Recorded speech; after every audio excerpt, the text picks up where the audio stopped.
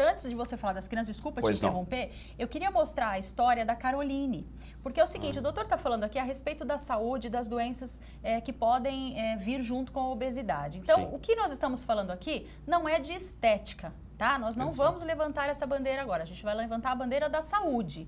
Então, o que pode acontecer? Às vezes tem pessoas que estão um pouquinho acima do peso, mas que estão dentro de um padrão eh, saudável, né? E é isso que acontece com a Caroline. Desde criança, ela é gordinha, né? Ela fez vários tratamentos para emagrecer, Ah. ela não conseguiu. E aí, o que, que ela descobriu? Ela descobriu que ela é feliz sendo plus size, né? Mas com a saúde em dia, doutor. Vamos conhecer a história dela? Vamos. Vamos lá. A felicidade da Carolina chegou quando ela engordou novamente, mas dessa vez acompanhada de uma nutricionista comportamental. Eu costumo brincar que eu já nasci gordinha, porque eu sempre gostei de, de comer muito. Eu já nasci sugando minha mãe, praticamente, coitada. E aí depois, com uns três, três anos de idade, eu, tava, eu era muito obesa, meus pais me levaram no médico, descobriram que eu tinha colesterol, triglicérides. E aí foi, começaram todos os períodos de dieta, que eu fazia dieta desde pequenininha, emagrecia. Aí com 15 anos, eu já estava com vários problemas de saúde. Eu e os meus pais, a gente resolveu que vamos fazer redução de estômago. E aí eu fiz redução de estômago.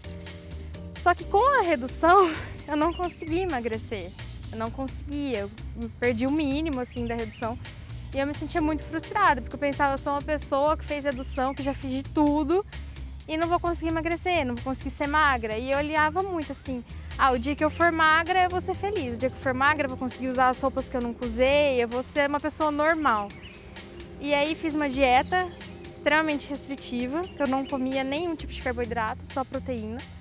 Aí por essa dieta eu consegui emagrecer, só que sem acompanhamento, louca, sem nada. Só que aí quando eu tava magra, eu também não me via feliz, eu não me enxergava, porque eu vi que aquela felicidade não veio. Aquela felicidade que você idealiza, né? E os problemas de saúde relacionados à obesidade já não existem mais. Hoje eu fiz questão de colocar essa roupa até porque eu não usava roupa clara, não usava alça. Então eu não me permitia usar as roupas que eu queria. Não me permitia ser a pessoa que eu queria. Porque eu achava que o peso me limitava. Quando eu participei do Miss, eu me vi com outras mulheres que eram iguais a mim. Outras meninas que eram iguais a mim. Aí eu falei, peraí, não sou tão diferente assim. Existem outras pessoas que são iguais, que sofrem os mesmos problemas que eu sofro. A maioria das mulheres vão muito pela mente de outras mulheres. Ainda mais hoje com as redes sociais, a gente começa a ver Instagram e a gente vê que a vida de todo mundo é perfeita e a minha é horrível, porque ah, é porque eu sou gorda, porque eu não, não me sinto bonita, eu tenho barriga, eu tenho isso, eu tenho aquilo. Só que a gente se compara muito com os outros e a gente esquece de conhecer o eu. A pessoa esquece de ver o interior dela. Então, mesmo as pessoas que queiram fazer redução, que queiram começar uma dieta, primeiro se conheça, ver qual que é o verdadeiro problema.